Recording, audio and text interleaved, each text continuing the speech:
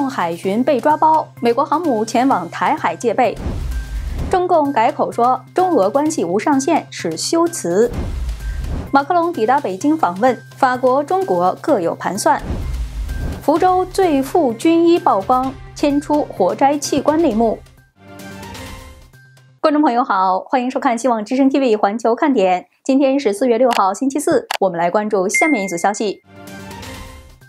在台湾总统蔡英文在美国会晤众议院议长麦卡锡之时，中共五号煞有介事地宣布启动台湾海峡中北部联合巡航巡查专项行动，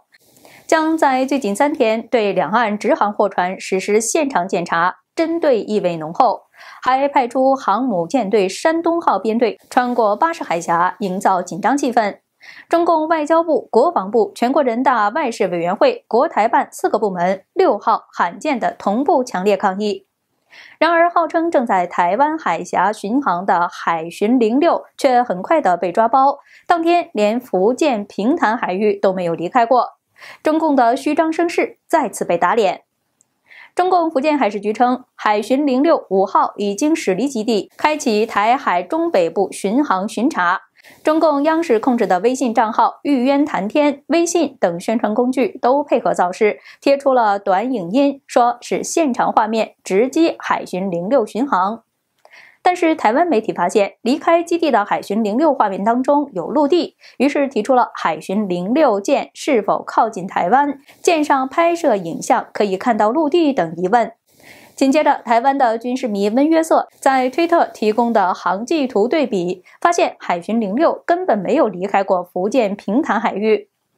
台湾海巡署也表示，经查证，媒体所称海巡零六从舰上拍摄影像看到的陆地，应处于中国大陆沿海区域。但是对于中共可能采取的进一步军事行动，台湾、美国、日本都在严密的监视。四月五号，中共航母山东舰通过巴士海峡进入台湾东南海域。台湾国防部表示，由于时机敏感，军方正研判其意图，并且派遣巡防舰应对。而美国海军尼米茨航空母舰也在台湾东部约四百海里处守候。国防部指出，山东舰一离开母港，台湾军方就已经掌握。台湾国军海空兵力及陆地雷达系统全程掌握动向，严密监控。日本防卫省统合幕僚监部今天也发布首次拍摄到的山东号照片，同时公布陪同舰仅有零五四 A 型飞弹护卫舰和零九一型综合补给舰各一艘。至于美国海军尼米兹号航母也来到了台湾东部海域戒备。美国国会一位资深议员说：“我们要不惜一切代价遏制侵略。”媒体报道，这次蔡英文和麦卡锡谈的最重要的内容，就是美国两党再次承诺更好的武装台湾，加快武器的交货速度，阻止中国的侵略能力。中共和俄罗斯的关系曾被两国领导人习近平和普京共同宣称为友谊无上限，但是中共官员现在突然改变口风，说无上限的有关说法只是修辞，中共不会向俄罗斯供应武器用于出兵乌克兰等等。这令外界揣测中方的真正意图。纽约时报四月五号报道，他们在欧洲外交使团出发前往中国之前，对中共驻欧盟大使傅聪进行了一个小时的采访。期间，傅聪突然一改中共过往的口吻，中俄关系无上限的说法是被有部分人故意曲解了。无上限纯粹只是一个修辞手段，并且信誓旦旦地表示，中共在俄乌战争上也没有站在俄罗斯的一边，没有向俄罗斯提供军事援助，甚至说中共政府没有承认俄罗斯对乌克兰领土，包括克里米亚的吞并，以及对顿巴斯等乌克兰领土吞并等等。至于为什么北京方面至今没有谴责俄罗斯入侵乌克兰，他就解释是因为北京方面理解俄罗斯出兵阻止北约扩张的理由和根据，而且中方认为这场战争的根本问题比西方领袖所指出的更为复杂。法广报道，中俄领导人强调要通过和谈来解决乌克兰危机，但是乌克兰总统泽伦斯基邀请习近平通话斡旋俄乌冲突时，两个多礼拜过去了，中方始终没有任何的表态。中共驻欧盟大使傅聪对此又辩解说，没开启对话，并不意味着中国在乌克兰问题上站在俄罗斯的那一边。报道说，北京一直没有谴责过俄罗斯侵略乌克兰。习近平连任第一站出访，选择前往俄罗斯。习近平在俄罗斯的表现，让欧美期望中国说服俄罗斯停止战争的政治家们幻想破灭。因此，有评论认为，站在中共的利益的立场，他是不愿意看到俄罗斯倒下的。中共通过官员对外一次一次的说辞，只是对国际社会和西方国家的一次又一次的忽悠。法国总统马克龙和欧盟委员会主席冯德莱恩继续在中国的为期三天的访问。有分析认为，马克龙访华的两大目标，一个是指望习近平调节俄乌冲突，想法是太天真；另外一个是指望更多的经济合作，但是中国的经商风险不可预测。也有观察认为，这是中美隔空过招，因为中共希望分化美欧。六号，中共总理李强在北京大会堂会见了马克龙。当天晚些时候，马克龙将与习近平主席举行峰会。马克龙此行访华，俄乌战争被认为是焦点议题之一。马克龙在启程之前曾与拜登长时间的通话，讨论中国议题。此外，法国官员透露，马克龙预计在访华期间向中共领导人习近平施压，说服其利用对俄罗斯的影响力，在乌克兰实现和平，或者是至少劝阻其不要全力支持俄罗斯的战争行动。但是，法国《费加罗报》评论说，马克龙以驯兽师的姿态出现在北京，想说服中共，就好像是驯服老虎一样危险和艰难。而北京另有盘算。争取法国在欧洲对华立场上拉开和美国的距离。欧盟委员会主席冯德莱恩对中共的态度向来是较为强硬。他在抵达之后发推文说，将与习近平和李强讨论欧中关系以及他的未来，并表示跟中国欧盟商会进行了深度的讨论，指出欧盟企业面临许多来自中国的歧视性的障碍。欧洲公司需要一个公平的竞争环境来投资和提供他们的商品和服务。冯德莱恩此行曾暗示，在最坏情况之下，欧盟可能会终止谋求与中共达成一个里程碑式的贸易协议。德国媒体《南德意志报》报道说，如何与中国打交道，冯德莱恩提出了几个重点，就是必须认识到风险，并且尽快减少战略上的依赖性；必须了解中共，并且明确地指出，中国早已经不再是改革开放的国家。文章指出，习近平领导下的新政权以绝对控制国家安全和创造新的世界秩序为目标。这个政权有意识地选择俄罗斯作为和美国角逐的长期伙伴，其欧洲政策的首要目标是分裂欧美。马克龙和冯德莱恩的访中结果，西方国家都在高度的关注。近日，大陆媒体曝光了中共解放军联勤保障部队第九零零医院主任医师陈龙的巨额财富，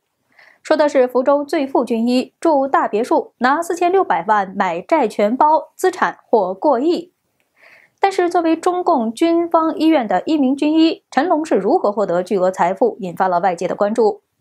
公开信息显示，陈龙获得胸心外科临床医学博士学位，是南京军区福州总医院及现在的军方联勤第九零零医院的心胸外科主任医师，还是中共军方胸心血管外科专业学术委员，原南京军区器官移植研究所副所长等等。从二零零二年开始从事器官移植手术。和陈龙有关的一起买卖合同纠纷，引出了这个福州最富军医。四月三号，路媒报道了他巨额财富的冰山一角。相关的知情人士爆料，陈龙不仅住着大别墅，而且还能拿出数千万购买不良资产，坐拥十多套房产，开设在香港的股票账户，还有约两千万元的资金，估计个人资产或过亿。作为中共的军医，陈龙的巨额财富是怎么来的？他的工资、福利、收入究竟有多少？其背后有多少不为人知的内幕呢？根据海外追查国际的调查，器官移植产业在中国是暴利的行业。移植中心是许多中共军队医院的重点效益科室，给医院带来了巨大的利润，同时也使参与其中的军医获利甚多。解放军三零九医院器官移植中心的毛收入由二零零六年的零点三亿元增长到了二零一零年的二点三亿元，五年之内增长近八倍。南京军区福州总医院眼科年眼角膜移植数量大增，经济效益翻了几倍。第三军医大学附属大平医院，九十年代末开始器官移植，二零零九年医院年收入从之前的三千六百四十八万元增至九亿多元，增长了近二十五倍。追查迫害法轮功国际组织的调查报告中说，通过长时间的调查取证，中共军队医院和武警医院及其总后勤部是活体摘取法轮功学员器官做移植牟利的核心机构。陈龙以及隶属的南京军区福州总医院涉嫌参与中共的活摘器官行为。根据调查，陈龙二零零二年四月二十七号参与实施一例双肺移植供体切取，供体为二十二岁脑死亡男性；二零零三年到二零零五年参与实施两例肺移植供体切取，供体均为青年男性，也是脑死亡。二零零二年到二零零四年参与实施五例共心切取，供体为青年男性，均属脑死亡。二零零一年的一月十一号参与实施一例心脏移植，二零零二年到二零零四年参与实施五例心脏移植，二零零二年的四月二十七号参与实施一例双肺移植，二零零三年到二零零五年参与实施两例肺移植。根据调查报告，陈龙是南京军区福州总医院涉嫌活体摘取器官的责任人之一。陈龙已经被追查国际组织列入追查名单。以上就是今天的节目内容。都说全球的局势现在是美中两个大国之间的对抗。这两天，在美国，两组华人因为蔡英文到访美国，也在激烈的对抗。这里面却出现了一个搞笑的卧底乌龙场景。在举着中共血旗的华人队伍里面，出现了一个穿着中共红军装、戴着五角星帽子、一脸络腮胡子的老外。手举中共血旗的人一看这个头戴五角星的，那就知道是自己人啊，于是就问：“你什么背景啊？”大概是因为这些举着中共血旗的这组人年岁都比较偏大，平时也不怎么上网的原因，他们根本没有看出来这个老外就是在 YouTube 和推特上很有名气的，专门制作讽刺中共题材影片的网红乐乐法力。于是，只见乐乐法力说：“与其说我是无条件的支持党，不如说是谁给我钱多，我就支持谁。这么说怎么样？”他看见周围人看着他的眼神有点不对劲儿，赶紧说：“等一下，我对不起大家，还是要入戏的，不能再出戏了。”这段视频在网上热传，大家都说乐乐法力是搞笑大师，因为有网友爆料说，这次参与蔡英文回城抗议，官方说给四百美元，结果这些群众演员们到最后拿到手的被克扣成了一百美元。网友调侃说：“能不能看在乐乐法力是外国人的面子上，不要扣他的钱呢？”